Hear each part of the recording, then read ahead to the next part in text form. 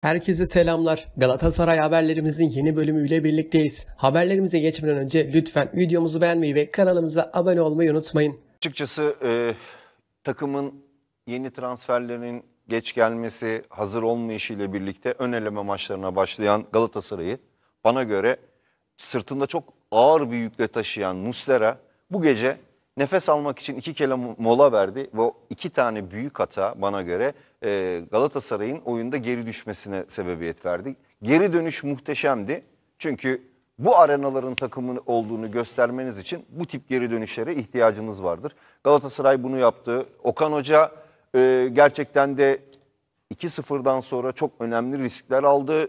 Yani Torreira'ya stopere alması çok enteresan hamleler, çok enteresan müdahaleler yaptı ama neticede maçı geri getirdi. Bu bizim mutlu olacağımız anlar ama ilk 24 dakikaya baktığımızda özellikle Kerem Aktürkoğlu'nun 3 tane, Icardi'nin bir tane, hadi Mertens'i de sayalım ee, en azından 6 pozisyon bunların hani 5 tanesi 4 tanesi %100 diye yorumlayacağımız pozisyonlar. Bunların değerlendirilememesi açıkçası ve arkasından yenilen 2 tane basit gol e, biraz e, hepimizin enerjisini düşürdü ekranda. Ama Sasha Boy'un 86. dakikadaki muhteşem golü ardından takımın ve tribünlerin reaksiyonu ben bir uzatmalarda şöyle bir 5-6 dakika daha olsaydı Hani evet çok risk aldık. Kalemizde 3. golü de görebilirdik belki ama öyle bir tempoda oynandı ki son 10 dakika. E, işte bu arenaların takımı olmak için böyle oynamak gerekiyor dedik. Ben yine de Galatasaray'ı kutluyorum. Kötü bir başlangıç olduğuna inanmıyorum ama daha iyisini yapabilir miydi? İlk 25 dakikada maçı bitirebilirdi Galatasaray.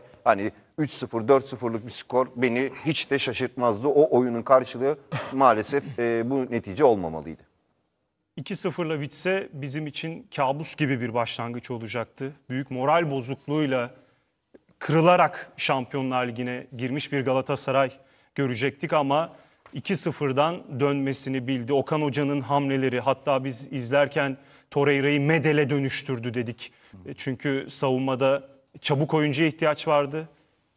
Risk alıyorsunuz. Arkada boşluklar var. Torreira'yı o şekilde değerlendirdi. Nelson oyundan çıkardıktan sonra. Sen nasıl yorumlayacaksın Evren? Öncelikle Mertens'in ilk yarıdaki performansına değinmeden geçmemek lazım. Ee, çok eleştirildi. Hem aldığı süre yaptıklarıyla geçen sene özellikle. Ama bu noktalarda, bu seviyelerde Mertens yıllardır oynayan oyuncu. Dolayısıyla burada nasıl oynaması gerektiğini bilen, uzun stoperlerin arasında kafa vururken de gördük bugün Mertens'i enteresan bir şekilde. Oraları hep kovalayan çok kilit oyuncu rolündeydi. İlk yarı bence Mertens e, sahanın en iyilerinden biriydi. Kesinlikle. E, Kerem'e çok güzel alanlar açtı. Kerem'le Mertens'in o telepatik uyumu pozisyonları getirdi. An Angelinho ilk yarı inanılmaz oynadı. İkinci yarı bazen aksadı ama Sasha Boy girdiği bütün ikili mücadelelerde iyiydi. İlk yarı Galatasaray gerçekten gole kadar e, çok iyi bir performans ortaya koymuştu özellikle. İlk yarı için söylüyorum. Ancak e, atamadığınız zaman bir stres de oluşuyor.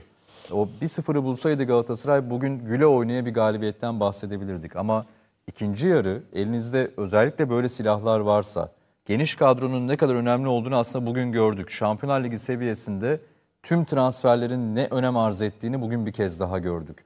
Tam olarak ilk 11 için hazır olmayan Zaha girdi, e, Tete'ye o asisti yaptı. Tete, e, Ziyech'e formasını kaybetti ama o kapatma vuruşunu muhteşem bir şekilde yaptı.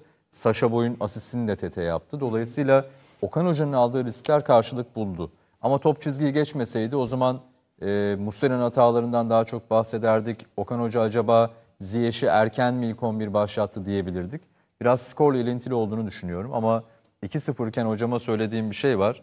Hocam birazdan onu belki Aa, söyleyecek. çok özür dilerim onu unutma. Özellikle yayında söyleyeceğim. Hiç umudumu kaybetmedim Hiç umudumu dair. kaybetmedim dedi hocam dedi. Bir gol arkasından mutlaka ben dedim 4 dakika var 86. Yani tabii ki gönül arzu ediyor ama e, dedim yayında söyleyeceğim ve seni kutlayacağım. Estağfurullah. 2-2 olur dedi. Hatta Bir beş uzatmalarda dakika 6 dakika olsaydı- bize az geldi biraz bu süre. E, biraz Üç daha de olurdu sanki hocam. fazla Üç süre de gibi. olurdu. Taraftarın Artık reaksiyonu ikinci maça var. diyelim. Yani Galatasaray bu oyunu oynarsa bence Kopenhag orada yener. Kopenhag yenilmeyecek bir takım değil. Bunu gösterdi. Kendi kendisine Galatasaray e, ayakları dolandı ve Muslera'nın belki birkaç ayda yapacağı hatayı bir maça sıkıştırmasıyla maalesef e, goller geldi. Normal şartlar altında Galatasaray'ın Kopenhag zaten bugün yenilmemesi gerekiyordu. Öyle de oldu. Kötünün iyisi bir puan. Artık e, son maç final maçı gibi olur gibi düşünüyorum bu grubun seyri için. Dostlar, YouTube'un politikası gereği yayının tam halini asamıyorum. Yalnızca buraya kadar atabilirim. Videonun kalan kısmında Galatasaray ve Avrupa'dan futbolla devam edeceğiz. Galatasaray'da karar. En çok kazanan Okan Buruk olacak. Sarı Kırmızılı Kulüpte teknik direktör Okan Buruk'un ücretine zam çalışmaları tamamlandı. Başkan Dursun Özbin, imkanlar seviyesinde maddi ve manevi destek verilecek. Okan Hoca ile problem olabilecek bir durum söz konusu değil. Sözlerinin perde arkası aralandı. Yönetim zam için yerli oyunculara verilen en yüksek ücreti baz alacak. Geçen sezon 1 artı 1 yıllık imza atan Okan Burun sözleşmesine o dönemki dolar kuru dikkate alınarak 17 milyon TL grant ücret yazılmıştı. 2023-24 sezonu için ödenecek rakam ise 20 milyon TL. Yeni transferlerden yedek forvet Halil Dervişoğlu şu an hocası Okan Buruk'la aynı parayı kazanıyor. Takımda TL olarak en yüksek ücret 27 milyon TL ile Kerem Aktürkoğlu'na ait. Gurbetçi Kerem Demirbay'a da 1 milyon euro ödeniyor.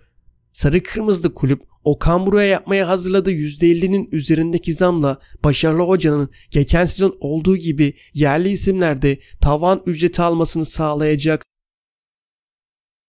Kerem Aktürkoğlu da ismini tescil ettiriyor. Galatasaray'da bu sezon gösterdiği harika performansla beğeni toplayan Kerem Aktürkoğlu geleceği adına dev bir adım attı. Genç oyuncu kendi ismini marka olarak tescil ettirmek için 17 Ağustos tarihinde tam 14 sınıfta başvuru yaptı. 18 Eylül'de inceleme tamamlandı. 2 aylık bekleme süresi geçtikten sonra başvuru resmiyet kazanacak. Kerem'in geniş çaplı yaptığı marka başvurusunun içerisinde parfüm, saat, spor faaliyeti, yayıncılık gibi birçok alan bulunuyor. 24 yaşındaki sol kanat oyuncusunun Galatasaray ile olan sözleşmesi 2026 yılın Haziran ayında bitiyor. Kerem bu sezon oynadığı 10 maçta 4 gol attı 5 asist yaptı. Dostlarım biraz da Avrupa'dan futbola bakalım. Brighton, Manchester United'ın Ferguson teklifini reddetti. Yaz transfer döneminde 80 milyon euro karşılığında Rasmus Højlund'u kadrosuna katan Manchester United bir genç yeteneği daha gözüne kestirdi. İngiliz basınına göre Manchester United, Brighton forması giyen genç yetenek Evan Ferguson'u kadrosuna katmak için harekete geçti. Sport Bill'de yer alan habere göre Manchester United 18 yaşındaki İrlandalı santrafor Evan Ferguson için Brighton'a 60 milyon euroluk bir teklif yaptı. Haberin devamında ise Brighton'ın bu teklifi gülerek reddettiği ve Manchester United'a Ferguson için en az 120 milyon euro istediklerini söyledi. Brighton formasıyla sezona çok formda giren Evan Ferguson çıktığı 5 maçta 4 gol attı. Tuchel de açıkladı. Grubumuz zorlu geçecek. Bayern Münih Teknik Direktörü Thomas Tuchel, Şampiyonlar Ligi'nde oynayacakları Manchester United maç öncesi konuştu. Manchester United'ın son dönemde aldığı sonuçlar onlar hakkında pek bir şey söylemiyor. Bruno Fernandes, Rashford ve Rasmus Højlund gibi oyuncularıyla kontratakta mükemmeller. United her zaman tehlikedir. Oyuncular çok fazla bireysel kaliteye sahip açıklamasını yaptı. Başarılı çalıştırıcı son olarak turnuva bizim için çok önemli bir maçla başlayacak. Grubumuz zorlu geçecek. Bu yüzden sonuna kadar tamamen odaklanmalıyız. Mümkün olduğunda her maçta elimizden gelenin en iyisini yapmak istiyoruz diye konuştu. Şampiyonlar Ligi'nin ilk haftasında Bayern Münih deplasmana konuk olacak United'a kötü bir haber geldi. Son dönem sakatlık nedeniyle birçok önemli isimden faydalanamayan İngiliz ekibinde Harry Maguire de bu maçta sakatlığı nedeniyle forma giyemeyecek. Manchester United'da ayrıca Mason Mount, Aaron Wan-Bissaka, Rafael Varane, Anthony, Jadon Sancho'nun bu Bayern Münih deplasmanında forma giymesi beklenmiyor. Barcelona Avrupa devlerinin elinden kaptığı 38 milyon dolarlık yıldızına lisans çıkartamıyor. İspanyol devi Barça yıldız oyuncusunu oynatabilmek için ekonomik sorunları halletmesini yolunu arıyor. Katalan ekibinin maaş limiti 270 milyon euroya kadar düşürüldü. Bu da 649 milyon euroluk inanılmaz bir azalma sağladı. Mundo Deportivo'ya göre bu düşüş nedeniyle 18 yaşındaki forvet Vitor Roque'yi kadroya alabilmek için ya oyuncu satmak ya da yeni gelir kaynağı bulmak zorunda kalacak. Aksi takdirde Barça genç yıldızın lisansını çıkartamayacak ve tam da bu noktada taraftarları büyük bir hüsrana uğrayacak. Barça, Chelsea, Manchester United ve Paris Saint Germain'in de ilgisini çektikten sonra Paranense'den Brezilya milli futbolcuyu tam 35 milyon euro değerinde bir anlaşmayla kadrosuna kattı. Dostlarım videomuz buraya kadardı. Bir sonraki videoda görüşmek üzere. Hoşçakalın.